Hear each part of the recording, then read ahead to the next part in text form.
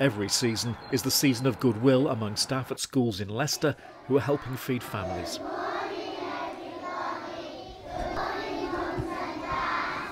It's a very special assembly today. It's our six hours assembly. And at Stokes Wood Primary in New Parks, it's the staff who are buying food as well as collecting donations. Ella, our sort of family support worker, she was having quite a number of families coming to her, desperate on a Friday particularly, that not sure how they were going to feed the children over the weekend. So they collected the food, and as quickly as it comes in, it goes out to those most in need. The cupboard, it's now full, and anybody who's struggling can come to the school now and can take something home to give their children something to eat.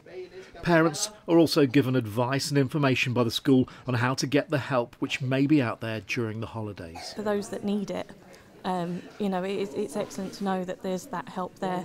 Well, they couldn't be better, really. They're, they're fantastic, they're really supportive, they encourage the children, um, they're always there whenever you need them. The government should be helping, it shouldn't be down to teachers. It should be the government. Labour say staff shouldn't be paying out their own pockets and schools should be funded better to help those who need extra support. Which is why we've proposed ending the unfair tax loopholes that private schools benefit from so we can put 1.7 billion pounds into schools so that they can really give children the best start in life. In the East Midlands, according to the Independent Schools Council, there are 69 private schools teaching almost 25,000. They say Labour's plan will be a tax on education and it would have a terrible effect. To suddenly put the burden of a 20% VAT fees rise on those parents would almost certainly um, lead to numerous families moving out of independent schools back into the state system.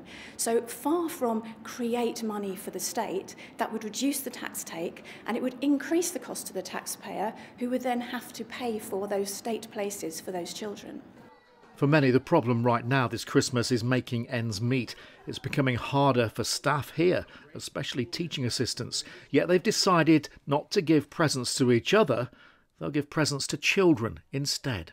And with the prices going up, they themselves are wondering what they'll do. So they're thinking of cutting back. But they still put their hands in their pockets to help with the donations and help with the children. It's really good. The government is funding four days of activity and food over Christmas. A hundred are expected to be here each day, looked after by teaching and office staff working in the holidays.